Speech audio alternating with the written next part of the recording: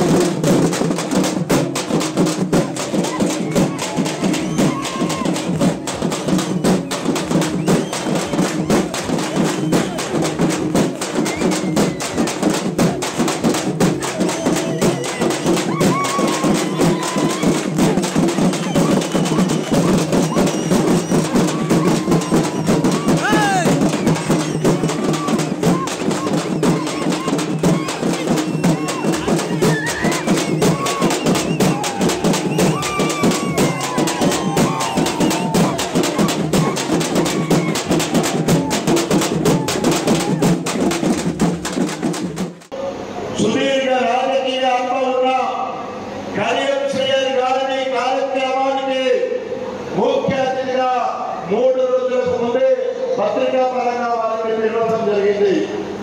నిన్న కోటిరెడ్డి గారి సమక్షంలో పెద్దలు జిల్లా పరిషత్ చైర్మన్ సంపత్ రెడ్డి గారి సమక్షంలో వారికి ఫోన్ కూడా చేసి మాట్లాడడం జరిగింది. మాట్లాడడం. దానికి మరి ఈ రోజు వస్తాడనుకున్నాం పొద్దున మాట్లాడి వారు నల్గొండ జిల్లా ఇన్ఛార్జిగా ఉన్నారు.